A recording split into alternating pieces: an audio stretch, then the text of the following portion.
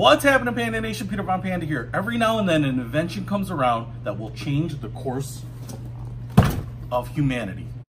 All right, so I just picked this up. I saw this online, and I could not believe that it was made. Right here, you can see this says Charmin Starter Kit. Get shipped just like this. And dude, I am so excited about this. So you know what the problem is. You're using the toilet paper, you're in the can, and uh, you're always replacing those rolls. They just don't last uh, very long. So guess what Charmin did? They invented a giant sized roll of toilet paper. My mind is blown right now. This is real toilet paper. They call it a month long roll. The way I poo, this is probably gonna be like a week, but still it's longer than uh, a standard roll will last. It has a standard paper tube in there, but just look how big this is. Now the starter kit here comes with everything you need to get wiping.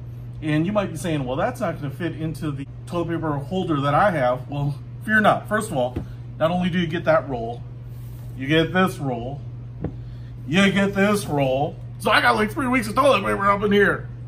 But in this particular starter kit, look what we have here.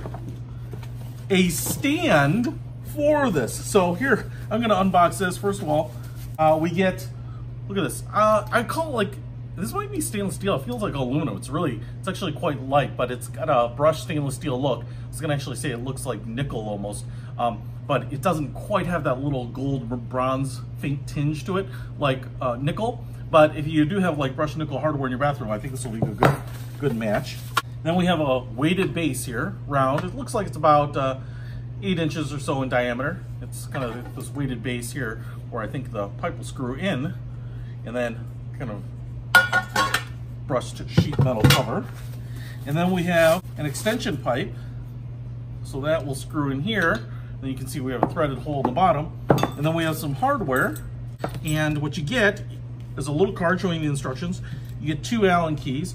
You get a hex screw, and a washer. So I think this should all be pretty straightforward to install. So I'll just take the flared base here and put it up to the bottom. I'm gonna put the washer in down below and the screw in there. Feed it through top and then screw this on here until it's as tight as I can hand tighten it. Now I will take the top piece here and screw it on the top. Looks like it stands, oh, not quite two feet tall, maybe 20 inches or so high.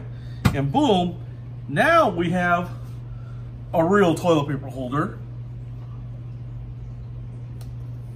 That's a real toilet paper holder. Look at this thing. Yeah, baby.